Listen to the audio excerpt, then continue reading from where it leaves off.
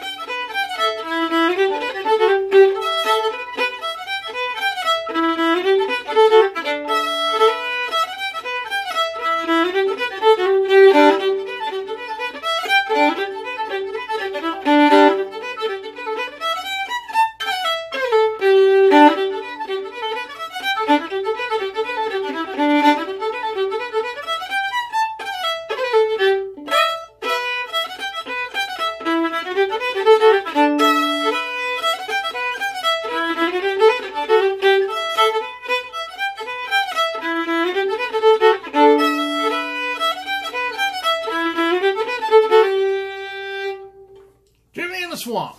See you all tomorrow.